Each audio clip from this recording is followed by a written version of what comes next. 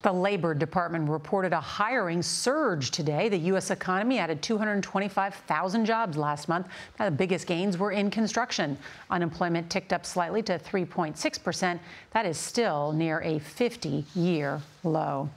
Today, a federal judge in Boston handed down the toughest sentence yet in the college admissions scandal. As Carter Evans reports, prosecutors say one parent's actions really stood out among all of those charged.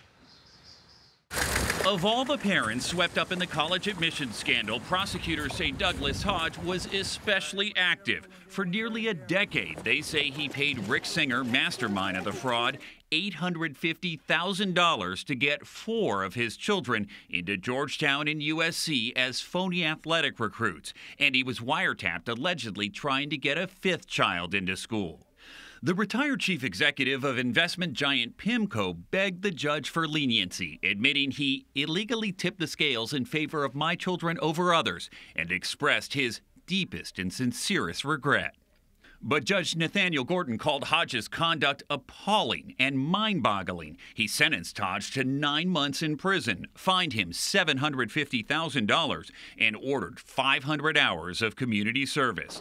That same judge will oversee the case of Lori Loughlin, who's charged with even more crimes. Should Lori Loughlin be concerned? Of course. I guarantee you she's freaking out today because she's, she's concerned that what happened to Hodge is going to happen to her.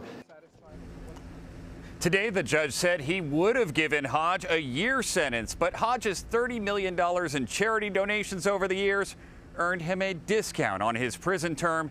He'll report to prison on March 20th. Norah? All right, Carter, thank you.